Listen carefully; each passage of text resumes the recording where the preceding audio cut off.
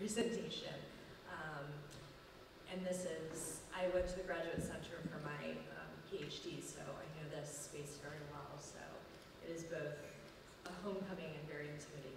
So, um, so I want to start um, with a little bit of reminiscing. So I remember distinctly the experience that sparked my passion for.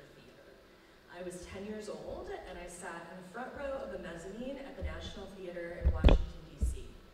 During the performance, I leaned forward, my forehead was pressed into the balcony railing, my eyes were glued to the stage. And in the weeks that followed that performance, despite repeatedly recounting it in vivid detail to anyone who would listen, I felt incapable of really expressing in words the show's powerful impact on me. Its narrative and choreography were not the source. The spectacular set, makeup, and costumes were not really the cause either. And although I'm certain I'd seen other plays before this one, this is the production that stays with me even now. It was Cats. Something happened at the theater the night I saw Cats. The performance lodged itself inside my body and remained there in a very visceral, tangible way. Trying to express this sensation in the weeks that followed, I recreated Cats in my family's living room, singing and dancing to the entire two-cassette soundtrack every night. That's like what was before CDs. If you've never seen one. So I'd like flip it and then put the other one and flip it, but I was committed. So this evening ritual was the only thing that I could do with the performance that seemed to have lodged itself inside my body.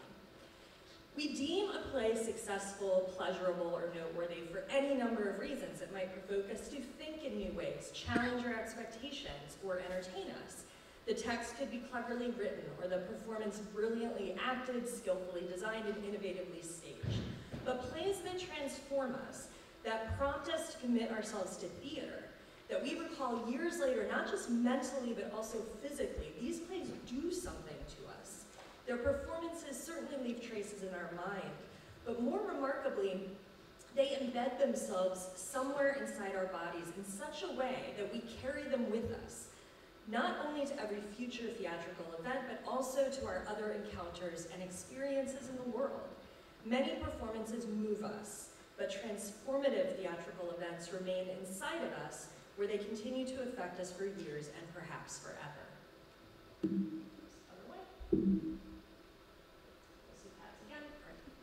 So with these passages, I opened my first book on performance culture in late medieval York. They point to an interest and a methodology that guided that project and that have continued to guide my research into both medieval and contemporary religious performances. That, I also have a related interest in biology.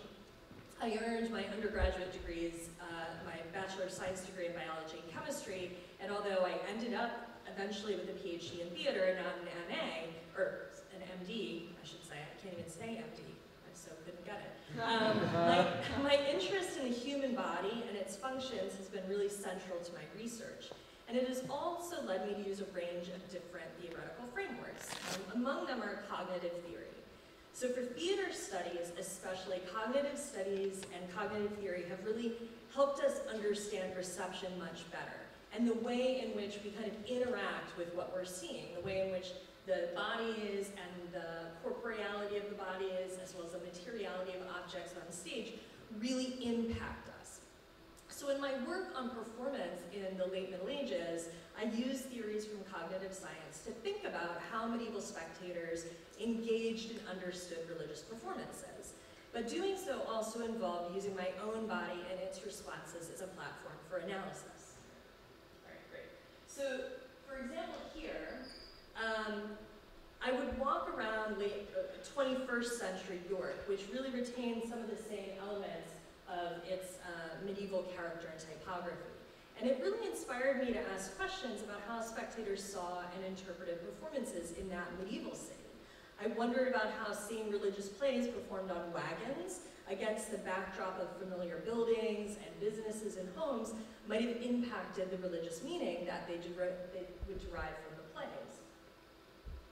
And then alternatively, on the flip side, how could seeing these performances annually that would circle through the city in those medieval streets then layer the everyday environments with ongoing devotional meaning. So religious meaning that might be reactivated each time they walked down a street or gazed upon a building. And then I used cognitive theory to suggest answers to these questions and their relevance to how we understood medieval drama.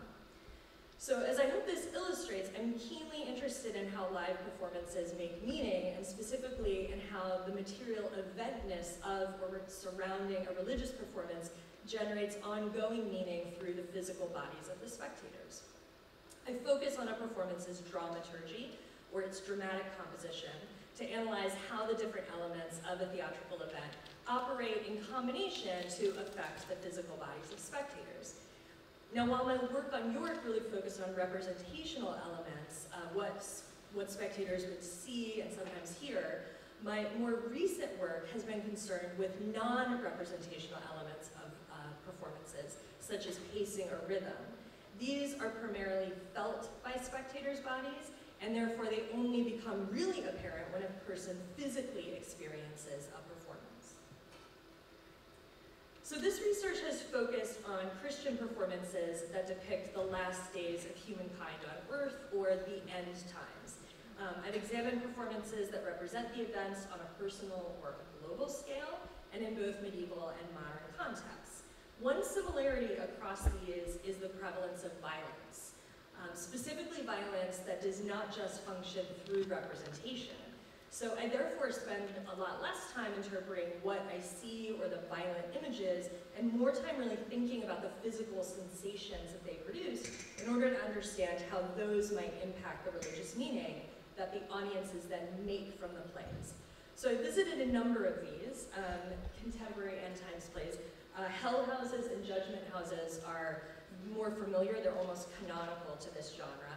Um, they've attracted a lot of attention by uh, theater scholars and then also by the popular press. George Ratliff's 2001 documentary, Hell House, was in part responsible for that attention.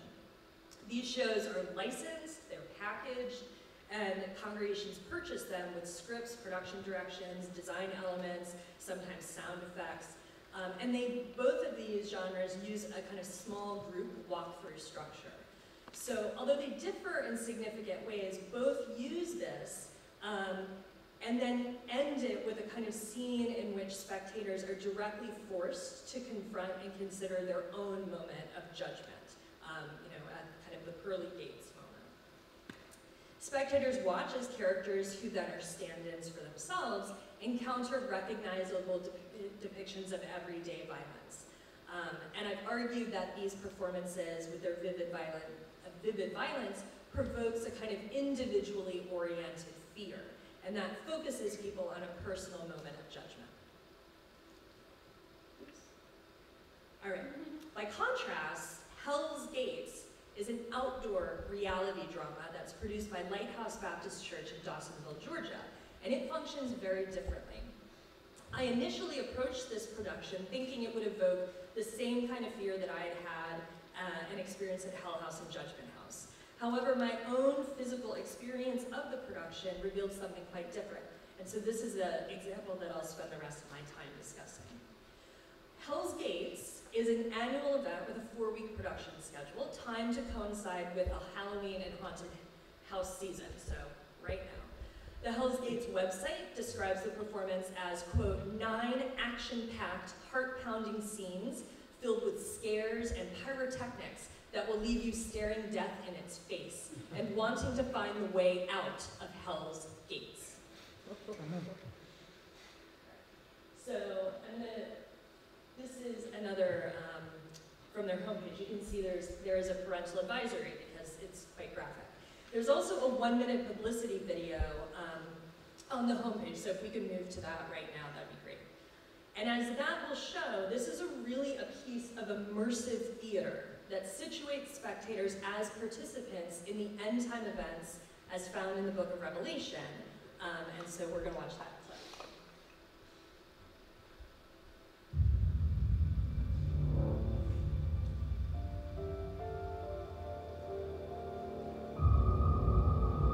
What are you pretending not to know?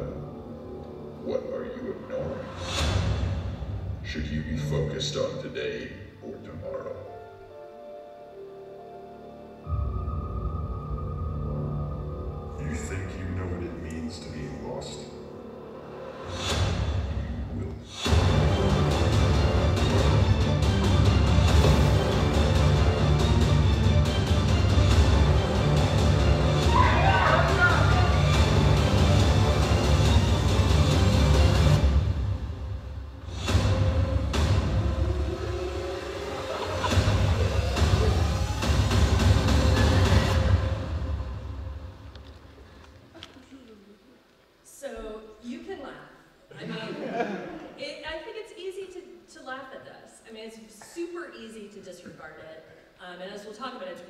Of genres.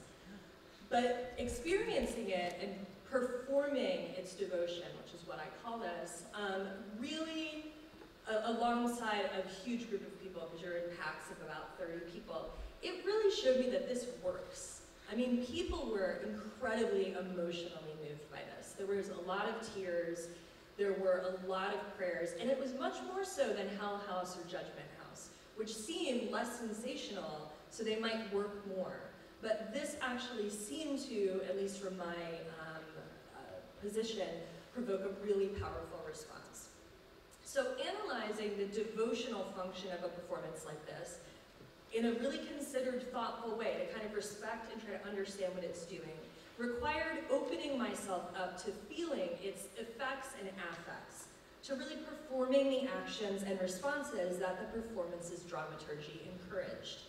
And by perform, I don't mean to pretend or to simply go through the motions. Instead, I really tried to enter into a genuine, meaningful bodily relationship with the form, experiencing all of its sensory contours and meeting its expectations as fully and sincerely as I could, even if I could not ultimately arrive at the point of belief.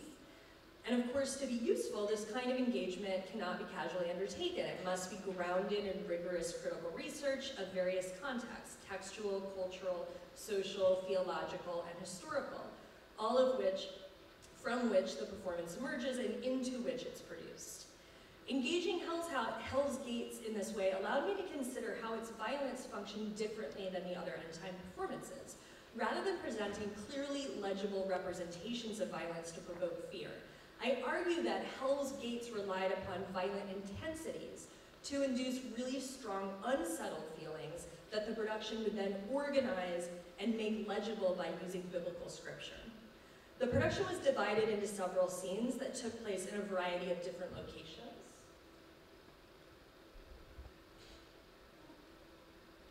Okay. Um, some episodes were staged in large outdoor areas with the action happening all around us, while others occurred in warehouse-like spaces with spectators standing or sitting on the bleachers. The first episode took place in a cordoned-off outdoor area with a film screen at one end. Standing in the space, we watched a video that outlined various signs on Earth that all point towards an impending end, capital E end. These events included wars, pestilence, famine, and earthquakes. And after the video ended, gates opened in front of us, and several guides began yelling at us to follow a path that, round, that wound through a very realistic post-rapture scene of pandemonium. We saw a section of an airplane that had apparently fallen out of the sky and crashed to Earth. We passed the sites of various car accidents where bloody victims hung out of the vehicles and the walking wounded staggered all around us. We passed fires and carnage as we traversed the disaster area. The performance also happens after nightfall and the lighting is produced almost exclusively by elements within the scene. So in this case, flashing ambulance lights, headlights, searchlights, fires, and un unexpected explosions provided that lighting, and it also created a really disorienting atmosphere. Representationally, that violence is typical of pre-tribulation Christian narratives. When all believers are suddenly raptured, disaster will result as the cars they're driving careen and crash, air, you know, airplanes they're flying crash to earth. Um, however, the disorienting, disorienting, somewhat chaotic scene also assaults spectators sensorially. So many things are happening simultaneously and all around the audience that the scenes of violence confront spectators on a level of sensation, really, rather than narrative. I responded physically and emotionally to the violence long before I really understood its representational meaning. This violence of sensation remained consistent across much of the performance, with episodes roughly following the standard tri uh, tribulation account, and all of them very elaborate with respect to production. So for instance, one ends with the two witnesses that are referred to in chapter 11 of the book of Revelation appearing on the top of a building, and they begin proclaiming the word of God. And those on the side of the Antichrist start to shoot at them, and the gunfire is whizzing over the spectators' heads. The witnesses are uninjured, and then in a flash of smoke and light, they disappear, they vanish. And then all of a sudden, amid all of this yelling, all of us who are spectators are rushed into a warehouse space for the next scene.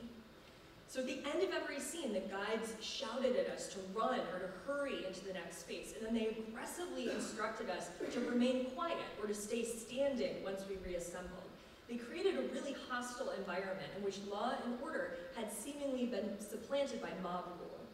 And such an overwhelming environment really prevented me, as a spectator, from immediately interpreting the scene's present moment. Instead, it left me suspended in a kind of unsettled emotional state and seeking some kind of narrative order. That order is then supplied in two episodes where the rhythm and the mood shift really drastically. In one of these, a young preacher uses scripture to explain what has just happened, and planted spectators in the audience ask questions that the preacher then answers by referencing Bible verses, specifically passages from Revelation. In this intimate, quiet space, yelling and disorientation were totally replaced by the preacher's composed demeanor, his rational explanations. Sensory chaos was made orderly and legible by the Word of God.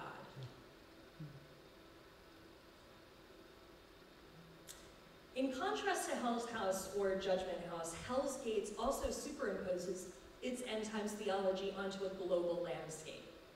During the performance, I was not following the story of a single individual or seeing a metaphor for myself. Instead, I was living in a culture as it collapsed around me and feeling an increasing loss of control as the events unfolded. A number of dramaturgical elements really inscribed this feeling into my body, being herded in a big group, yelled at incessantly, ordered where to stand and when to sit. All of these reduced my sense of agency and personal liberty. The episodic structure and the quick transitions cultivated a sensation of constant change without stability or trustworthy leadership. And indeed, the fast pace often left me just trying to figure out how I was going to um, you know, navigate this distorted, disoriented world logistically. During scenes that are staged indoors, spectators are usually squeezed against one another, and this lack of personal space and freedom really reinforced the feeling of personal liberty lost. So by assaulting the senses in this way, the terror of being left behind became less about the individual violent acts and more about how the tribulation event as a whole overturned cultural values and principles. This upending was conveyed through sensation, herding, rushing, yelling, crowding, combined with random and often very startling use of lights, gunfire, and explosions. They all produced a violence that suspended me in a state of confusion and frustration. I may have been intent on physically navigating the present, as I often was, but my feelings were pitched anxiously forward towards a future in which I would hope those sensations made sense. This chaotic atmosphere was then made orderly and calm and intelligible through scripture during the scene with the pastor and in a final scene, a final scene which also takes that same tonal shift. I'm never going to get this. All right, last slide. All right, so Hell's Gates provides spectators with felt evidence of what will happen. That's its goal. And it, it, expects, really, spectators to understand why, consequently, it only makes sense to believe from start to finish, and despite what really might sound, I'm sure it does, very overwrought, very melodramatic, the show's tenor remains pretty logical. Moreover, it cultivates this religious message through feelings that may then be refelt later, in different circumstances, and in reaction to a variety of other seemingly secular triggers, when watching news coverage of the devastation and rescue attempts following a natu natural disaster, when passing a car crash on the side of a highway, when watching an international espionage movie, a Jason Bourne film, or a domestic thriller series like Homeland. Re-feeling allows those subsequent experiences to also be imbued with that same religious significance, hmm. taking ostensibly discrete experiences and then through emotional association, uniting them into a common religious interpretation. By means of this re-feeling, the religious significance of Hell's Gates is always coming into being. It makes ongoing religious meaning by providing spectators with a way to organize and make legible subsequent encounters that evoke the same kinds of disorienting, troubling, or unsettled feelings. However, ultimately it was only by actively and trying to sincerely engage the performance itself and then interrogating my own bodily responses that this logic of feeling really became so I was asked to kind of present you with an example of the kind of work that I do as a scholar, um, and so this is what I chose, and I'm very happy to talk, answer questions, or just open up conversation. So thank you for listening.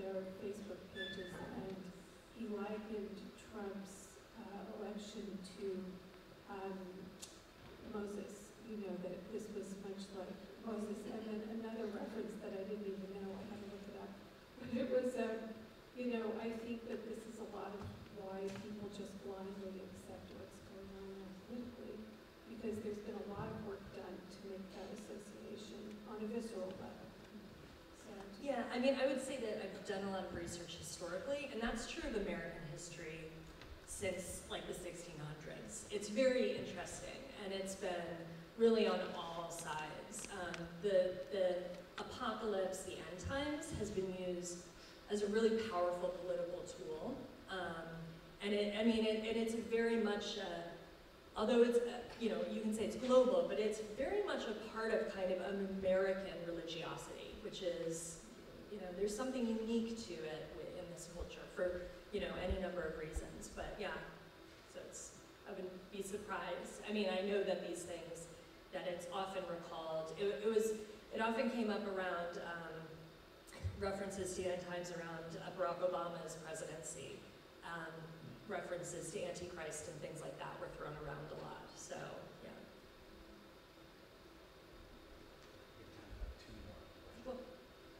Um, thank you for this. This was so wonderful.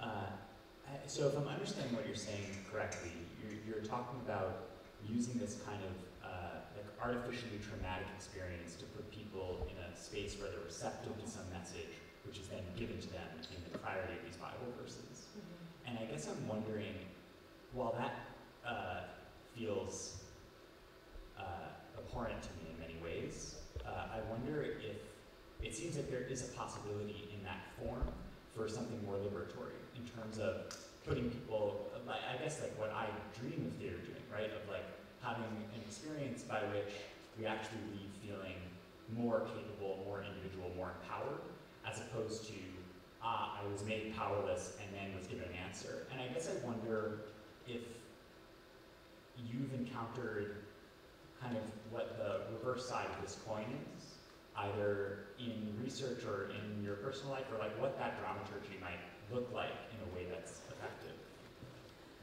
Yeah, I probably will not give you a good answer to this. Um, I would, you know, an interesting person who's done work on evangelical performance culture uh, forms like this, but with a look at how it works as social activism, is John Fletcher. So he's kind of tried to flip the script on that a little bit um, to kind of see the ways in which this can be these, these kinds of tactics can be used to kind of promote other kinds of feeling, kind of more liberatory feelings. I would say that if you are not within this community, I, this probably doesn't seem like liberation. When you're in it, there is a degree, um, you know, talking to people who went to it, there's something very freeing about finding that structure. Um, in a way, I mean, you know, every theater experience is a little bit, I think, traumatic. I mean, it takes us through this emotional journey and then, you know, catharsis, if you want to talk Aristotle or whatnot. Um, and this is just using it to pre present a kind of theology. But also a lot of people come in into these experiences kind of looking for it. So it's not as if they came in totally fine and then it's like you broke me down and built me up. Instead, there's a kind of searching that's involved in it. Um, one of the things that a lot of people, uh, myself included, who study this look at is that these are not really meant to convert people. These are meant to kind of reinforce and help reinvigorate the faith of those who already believe, but might be in a moment of searching and are looking to kind of find stability again. So I don't know, does that kind of get at some of what you're talking about?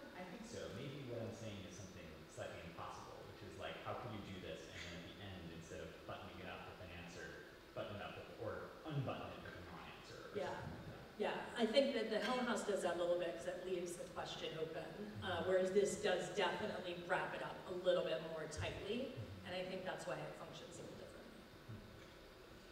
Hmm. Are we done? Yes. yes. All right, thank you so much.